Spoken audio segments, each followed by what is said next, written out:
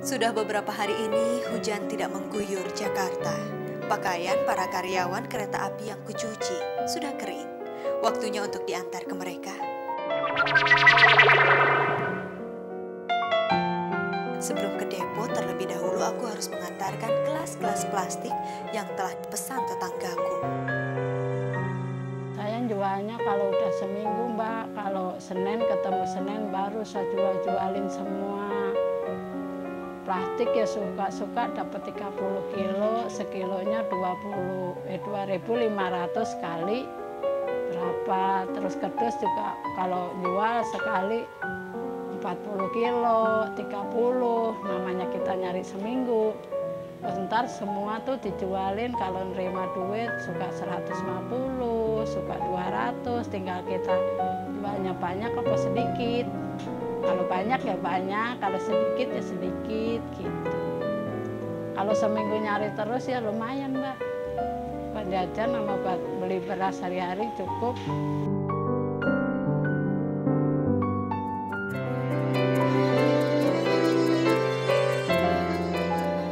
Syukurlah, hari ini ada tambahan untuk membeli lauk pauk untuk makan kami.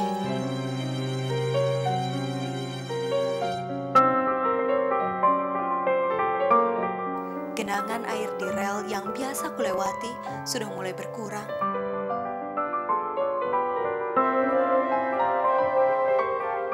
Namun tidak begitu dengan genangan air di depo ini. Sepertinya air di sini tak pernah surut, malah semakin tinggi.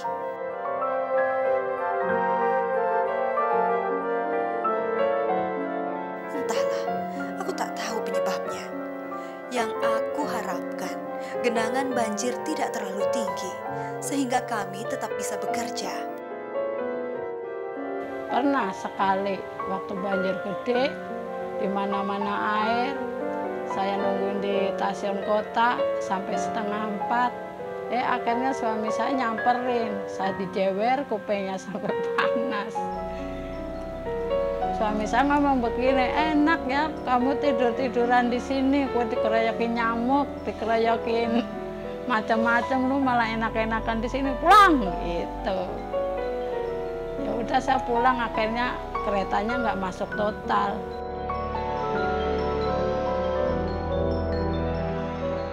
Dari mencucikan pakaian karyawan, aku mendapat upah seribu rupiah per pakaian. Nah kita daripada nganggur sih mbak, lumayan buat nambah-nambah beli garam.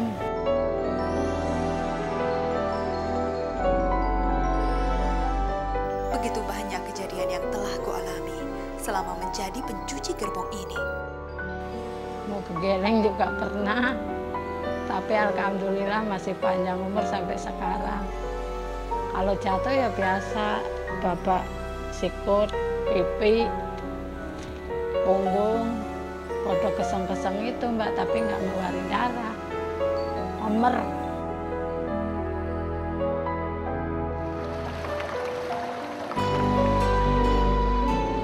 Terkadang ada perasaan geli juga bila melihat tingkah laku para penumpang.